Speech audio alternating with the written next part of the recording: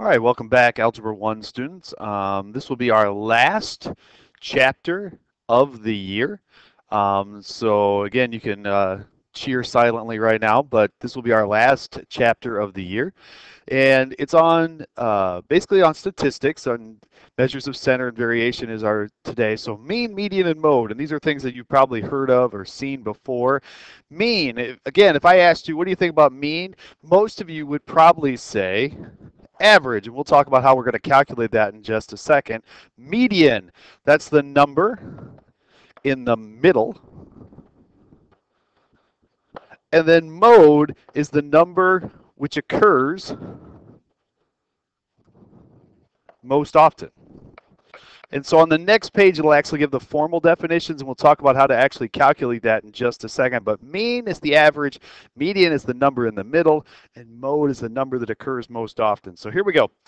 Mean, and uh, the numerical data set is the sum of the data divided by the number of data values. So therefore, you're going to add them all up. Add all the numbers. Sorry about that. Let me try that again. Add all the numbers, and then divide by how many numbers there are. So you're going to add them all up and divide by how many there are. Now, the mathematical symbol for that is an X with a bar over the top of it, or X bar. Median. Now you're going to put the data in from highest to lowest or lowest to highest, and you're going to find the number in the middle. Now, if there's an odd number of numbers, that's great. Then you actually have a number in the middle. But if there's an even number of values, then you're actually going to find the average of the two middle values. So we'll get to that in just a little bit. And then mode. Mode is the uh, excuse me. Mode is the number that occurs most often. Now there can be one mode. If every number occurs only once, there actually is no mode. And if there's a tie, then there can actually be more than one mode. So again, if I take all the numbers and whichever one occurs the most, we would consider that to be the mode. And if there's a tie, there can be more than one. And if every single number only occurs one time, then you would actually consider those themselves to be no modes. So here we go. Let's actually get some numbers here. The amusement park hires students for the summer. The students' hourly wages are shown in the table. Find the mean, median, and mode. So let's start with uh, median, or excuse me, let's start with mode. And I'm going to write these down here. Mean, median, and mode. Let's start with mode. Is there any number that occurs more than once? Well, 1650, 875, 865, 910, 825 occurs once. 825 occurs twice. And so that is the only number that occurs twice.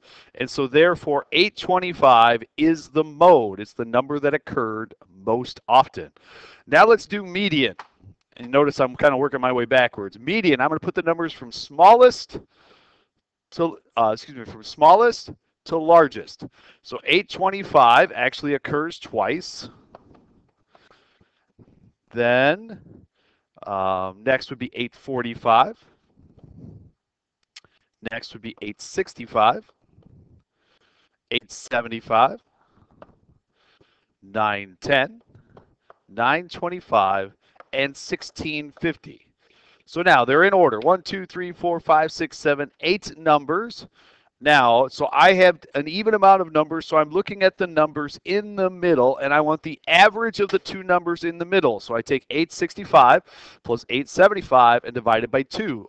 So the number in the middle of this particular question is 8, and my board's making messing up here, 870. So the answer to the median is 870. Now for mean. Mean, we're going to actually add up all these numbers. We're going to take 1650 plus 875 plus 865 plus 910 plus 825 plus 845 plus 825 again plus 925. So we're going to add them all up, and that's 77.2. And then we're going to divide that by 8. That's how many numbers there are. And I'm going to get 965. So again, adding them all up, and dividing by how many numbers there are. So there's the mean, the median, and the mode. Now, outliers.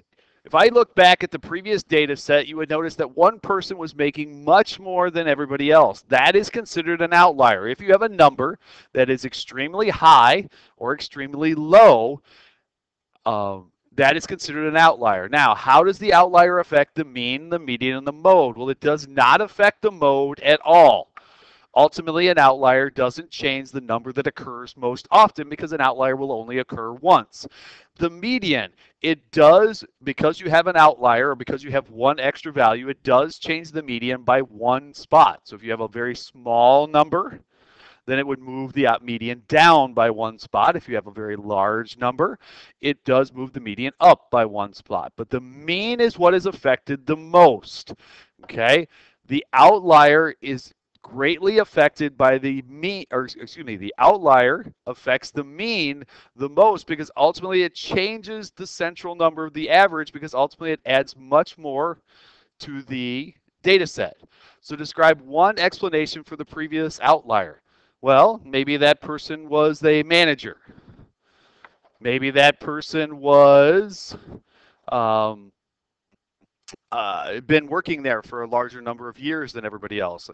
Heck, maybe that person was the boss's son and he's just going to make more. So again, an outlier is a number that is much larger or smaller than the rest of the data set. So now find the value of x. If the mean is 6, so 2 plus 8 plus 9 plus 7 plus 6 plus x divided by 6 equals 6. So again, adding up all the numbers and dividing by how many there are is how you find average or how you find mean. So now, solving this, I'm going to multiply both sides by 6 and get 36.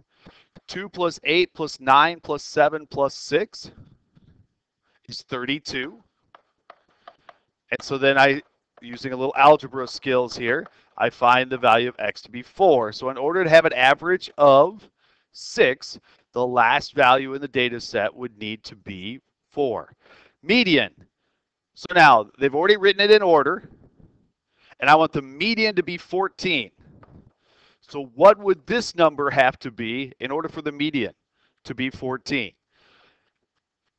Um, 12 plus x divided by 2 would have to equal 14. This is how you would do it mathematically, and I'm going to also do it more logically here in just a second. So multiplying both sides by 2, x would have to be 16. So that was the mathematical behind it. Let's get more logical with it. If I told you that 14 was in the middle, and you are at 12, the other person would have to be at what in order for 14 to be the middle? And the, answer to that question is 16. So now think about this last one here, and it's a starred question, so I would like you to pause and see if you can get it without me.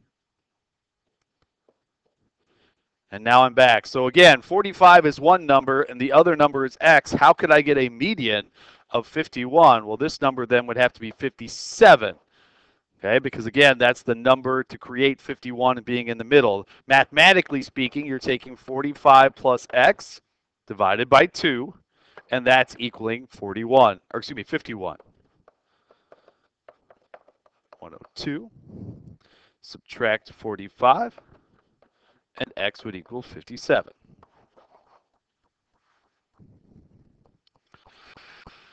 Cooking shows the difference of the greatest number and the least number. In this case, we're talking about range. Range is the highest compared to the lowest. So the range is always you take the highest number minus the lowest number. So I have two shows here. We have show A and show B, reality cooking shows. Show A, the range for show A, the highest or oldest person in show A is 31 years old. The youngest person in show A is 19 years old. So the range of ages in show A is 12 years. Now, show B has a little bit of an outlier. Okay, there's somebody in there that's 48 years old. So that is the oldest person in show A, or show B, I'm sorry. And in show B, the youngest person is 19. So now the range in ages for show B is 29 years. This is considered a measure of variation. Measures of variation basically talks about the data set.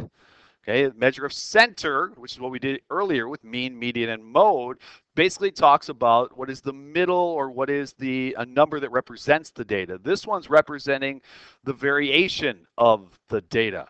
Okay, so the range of data. Now, another way to do variation is called standard deviation. Standard deviation is used a lot when talking about the normal curve.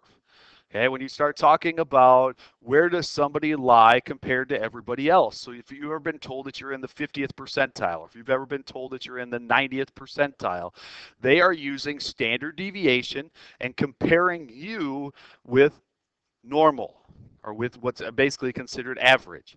So now both range and standard deviation are measures of center. You will not need to memorize this, but that is the formula that we are going to use here in just a few seconds. Here's the steps. You're going to find the mean. You're going to then calculate the deviation. Then you're going to square the deviation. And then you're going to find the average of the squared deviation. Then you're going to take the square root of that, and that standard deviation. All right, so here we go. We are actually going to calculate this by hand. The first column is going to be all the x, all the numbers in the data set. So I'm just going to write down the numbers in the data set. So 20, 19, 25, 27, 30, 21, 29, 22, 27, 29, 20, and 31. Next, and this is going to take a few seconds, I apologize here, but now you want to find the average. So if you want to hit pause for a second and go ahead and try to find the average, you're going to add up all the numbers. So you're going to take all those numbers, add them up. So I apologize here. And divide by how many numbers there are.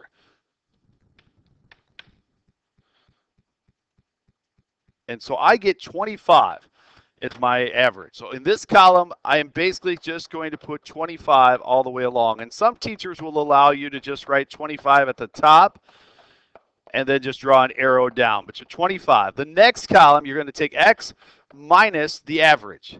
So now 20 minus 25. 19 minus 25, 25 minus 25, and so on. So you're going to do each one of these take the, the x, the number in the data set, minus the average. Now, next column, you're going to square the previous column. So now, because it's a negative number and you're squaring it, will always be positive. So negative 5 squared is a positive 25. So again, I'm going to take each number, and some of you may have to hit pause because I'm sure I'm going faster than you would. Okay, each number in the third column, and I'm going to square it. Now for the big finale. You are now going to take the last column in the data set, this one right here, and I want the average of that column. So add them all up. 25 plus 36 plus 4 plus 25 plus 16 plus 16 plus 9 plus 4 plus 16 plus 25 plus 36. So I add them all up. I get 212 divided by the number of numbers there are. So I'm going to divide that by 12. 17.666. And then I'm going to take the square root of that. So square root of that number. So the standard deviation of this data set rounded to the nearest hundredth would be 4.20. What that means when you interpret your results here, what you're talking about is from normal, how much does your data vary? Okay, so again, your data, every standard deviation in this particular case is 4.20. Now let's do the next one. Again, we're going to do exact same thing. So I want all of you guys to hit pause. I want you to try this on your own.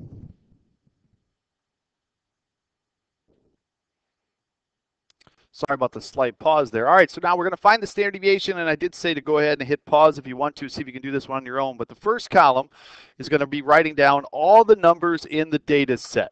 So take all the numbers in the data set and write it into the first column. Second, you're going to find the average. Now, I went ahead and found the average. It's 26. So again, you're going to have to go ahead and add up all the numbers and then divide by how many numbers there are. So I added them all up and divided by 12. Next column, I'm going to go ahead and change colors here. Now you're going to take the number minus the average.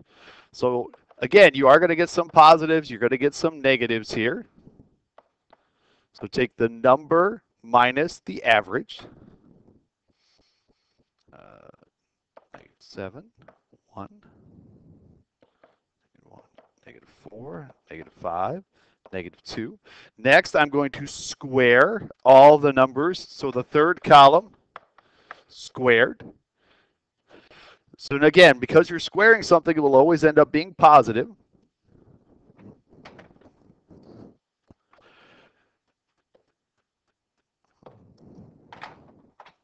Sorry, it's not registering my pen here. There it goes. So now take the third column and square. I'm going to skip that one real quick here. So 22 squared. All right, so now for the big finale. This is the, we're off the chart now. Now we're going to take the last column. I'm going to put a big circle around it. I'm going to take the last column, and I want the average of the last column. Well, how do you find average? Well, you add it all up and divide by how many numbers there are. So I'm going to take each number in the last column. And again, you may want to hit pause for a second, but add them all up and then divide by how many numbers there are. So when I added them all up, I got 670. Divided by 12 numbers, I got 55.833. And then I want the square root of that answer. So 7.47 is the standard deviation. Now, it's asking me to compare the two standard deviations. The first standard deviation, I believe for A, and I'm going to go back one slide, was 4.20, and the standard deviation for the second one is 7.47. What that means, the larger the standard deviation, the more the data is spread out. Okay, so your data set is more, more varied or spread when your standard deviation is larger.